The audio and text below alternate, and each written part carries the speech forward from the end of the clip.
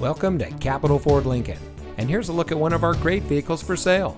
It comes equipped with Ford Pass Connect, navigation, voice activated touchscreen navigation system, heated rear seats, auto high beam headlamp control, Sirius XM satellite radio, heated front seats, first row heated seats, roof rack, sync communication system, and has less than 5,000 miles on the odometer.